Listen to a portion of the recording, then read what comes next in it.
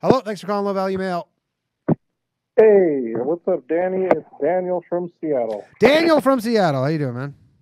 Can you? I'm I good. think you're on like a speakerphone or something where it sounds like you're a mile away. Can we? Oh, uh, yeah. Can we get you on some sort of off of Yeah. that? Yeah, hold on. How's this? Perfect. Perfect. So what's up? All Daniel? right.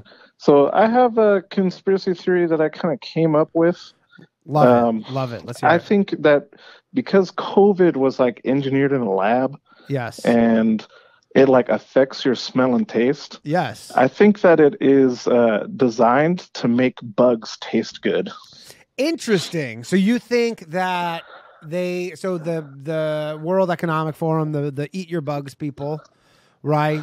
They weren't getting so what are you saying that they weren't getting traction with people being willing to eat bugs? So then they designed this in order uh like essentially in order for that to happen? Is, is that what you're thinking? Yeah. So like they want you to eat like the cricket burgers and the cricket, you know, flavored The food, cricket- cricket- right? Well, it's not cricket flavored. It's flavored. Probably tastes like things you like, but you you are eating crickets. Yeah, yeah. But like you know that McDonald's like buffalo sauce? Uh yeah.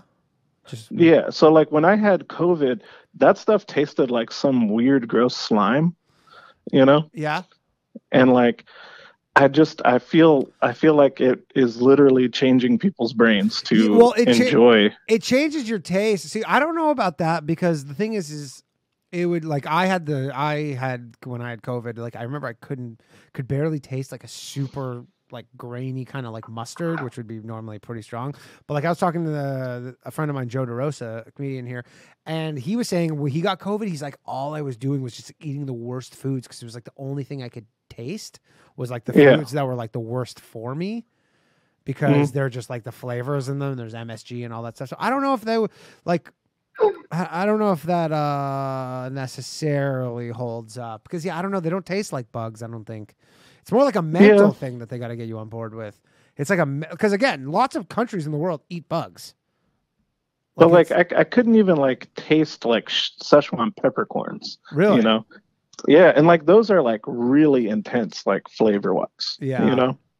yeah. And so I don't know. I just I, I feel like there's Speaking of conspiracies, by the way, it's so crazy that a year ago, if you called into my show and you were like, "COVID was made in a lab," I might have been kicked off of YouTube.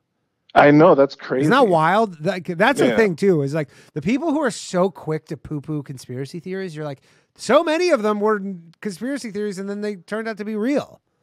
Yeah, And then they were fucking kicking. Like I would have had like a s- like I'm sure there were people who had probably bigger streams than me. Who someone was like talking about lab leak theory, and then just their stream went dark. They just got Yeah. mid midstream nuked. gosh, it, it, it's it's like so horrible. Like out here in in Hobo Needle Land, you know. Hobo Like- Needle Land. Yeah, Where's Seattle. that? Oh, Seattle. Gotcha. Yeah, Yeah. Someone says I still might get kicked off of YouTube. Yeah, maybe I will. But I think we've Yeah. kind of debunked that one. Um, all right. Yeah. Well, appreciate it. Thanks for calling in. all right, bye. Bye.